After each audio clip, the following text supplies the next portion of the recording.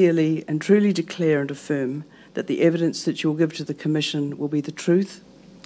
Today, recognising the importance of this moment, I apologise to you on behalf of the bishops and congregational leaders of the Catholic Church in Aotearoa, New Zealand.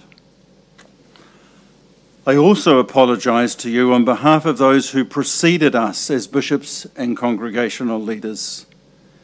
We offer no excuses for their actions or for ours that have caused you harm. We have heard the survivors who have spoken to the Royal Commission so far. We acknowledge all those victims and survivors who have spoken over the years.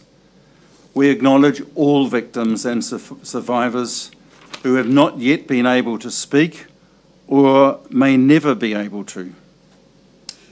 We hear you in the silence and through those who speak for you.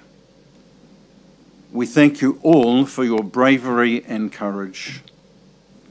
Any kind of abuse is unacceptable and indefensible. We are deeply sorry. We acknowledge that the systems and culture of the church allowed abuse to occur. These systems and culture failed you and must change.